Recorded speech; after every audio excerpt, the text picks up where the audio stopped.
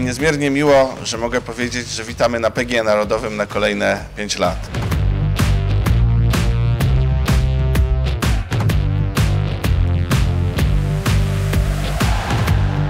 Jestem przekonany, że stadion wielokrotnie będzie nam dostarczał jeszcze sportowych emocji, kulturalnych wydarzeń, a także możliwości spotkań biznesowych, bo tutaj także e, można prowadzić e, działalność biznesową.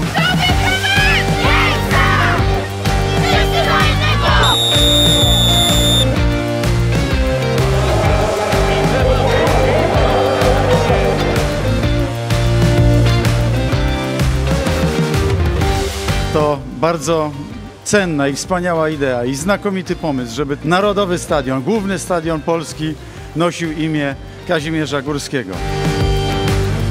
Właśnie w ten szczególny sposób chcemy uhonorować jego zasługi dla polskiego sportu, dla Polski. Cieszę się, że to właśnie ten dzień dzisiaj nastąpił.